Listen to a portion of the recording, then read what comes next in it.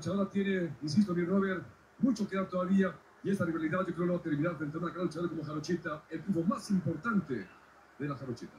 Vean nada más, temblando, le entrega su máscara a Reina Isis y el reconocimiento para Jarochita. ¿En qué batalla? Ahí está el rostro, con lágrimas en los ojos, con el corazón a flor de piel. Yatsiri Palacios, así dice llamarse, con 10 años de luchador profesional, 82 aniversario, la Jarochita.